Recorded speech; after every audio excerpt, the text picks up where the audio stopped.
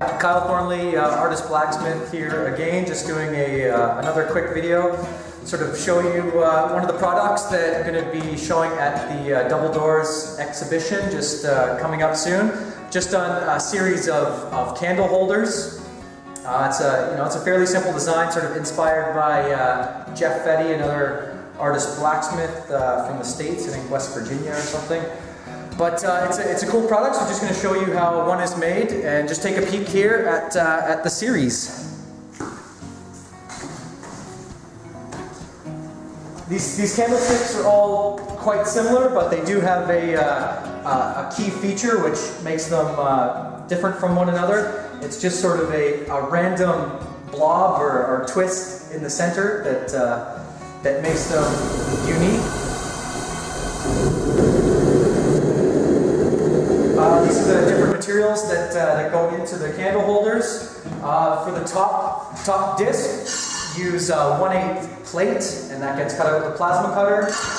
For the bottom base, it is uh, quarter inch material, and it gets cut out of uh, this quarter, quarter inch by 8 inch flat bar, and that's with a plasma cutter. And for the, for sort of the, the stem, it, it's half inch diameter round stock and it's cut out to about three and a half feet right now. And as it gets forged, it will, uh, on either end, it will grow significantly, but then we claim a good chunk in the middle when we twist it up to create the, uh, the design. So we're going to be cutting out uh, circles for the, the, uh, the top little catch tray and, uh, and the circular base for the bottom.